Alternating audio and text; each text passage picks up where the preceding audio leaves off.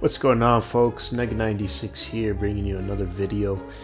Wanted to showcase a quick Act 1 Elite that we were actually able to pull off with the RTA squad. Myself, Nunnan Island, Raver, and Virus.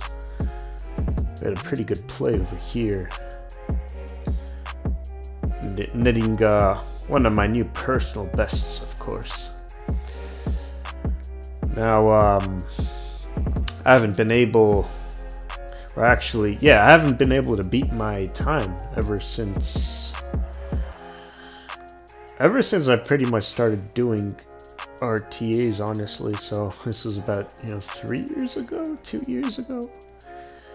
My uh, former record used to be at 259, but ever since we did this over here, spend a little more time with the team, seeing, you know, which members complement each other more in terms of play style and strategy. We began to sort of formulate something that works better for each and every one of us. You know, we all have our own strengths and weaknesses. In this run, you'll see here momentarily, I'm gonna be tagging along with Raver, going along in his Vigilante, as you see here, while Island Virus go off in theirs. If you notice here, Raver did have a bumpy start going to the first boost, but he then recovers onto the straight road here, going right to the facility. See guys, you don't necessarily need a double boost in the air to be able to pull off a fast and clean and well executed run. You just need to be able to get there within the same time frame. You know, boosting in the air does save you the trouble of landing and then boosting onto the road. So it does save a little time there, provided you get a clean landing after the initial, you know, the, the double boost into the air. Now, myself and Virus, you know, we're the full rushers of the team. Virus is doing a weapon swap rush while I'm uh, the secondary rusher over here, I'm trying to take away from some of Virus's fire as he rushes across. While uh, Nunnan Island and Raver, they're both the cleaners of the run.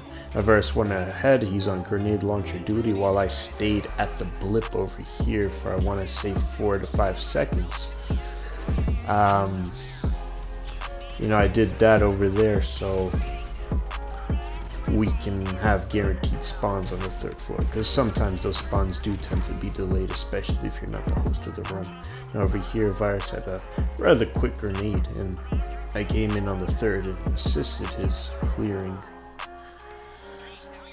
via um, rifle fire. Now the other members of the team they got done with their clears and we all met we all rendezvoused at the final war room the final objective of the mission. So the play over there was pretty clean. I did take a little more time to clear at the stragglers in the third room. So, you know, a fast time does ultimately end up coming to the initial grenade members RNG. How well they're able to, you know, execute their strategy and um, how quickly we're able to rendezvous with the other members up to the war room. So those are all factored into the final run. That there was the end of the run over there. And, you know, looking back, it was executed rather smoothly, I'd have to say.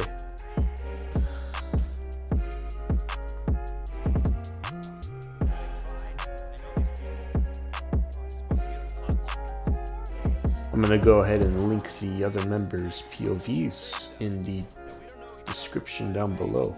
So you're always more than welcome to check that out. And as always, folks, um, if you like Neg96 content, go ahead and hit that red subscribe button.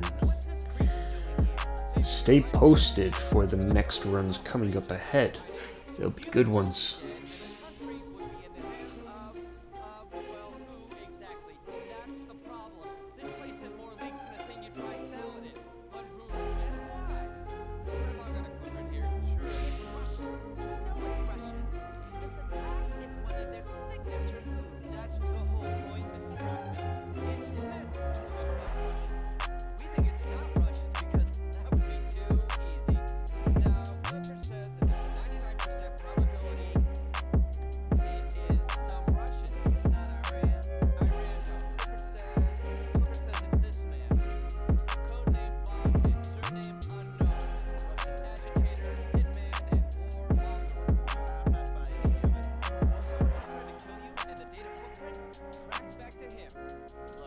Look at the graphics.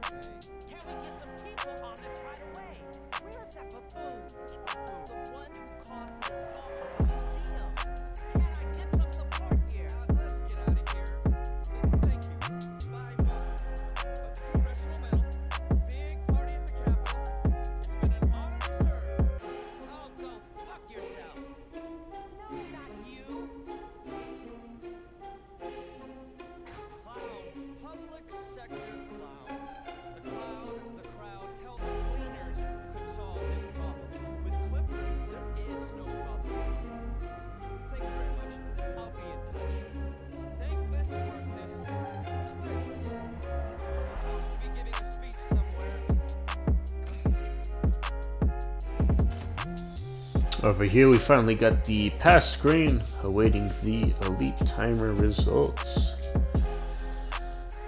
On an island, the host of our run did go ahead and close app so he could save the finale for future attempts.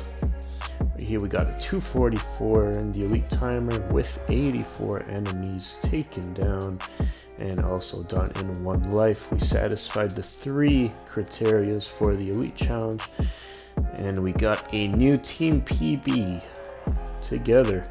The power of friendship, ladies and gentlemen. All right, y'all take care. That was uh, today's run. Thank you.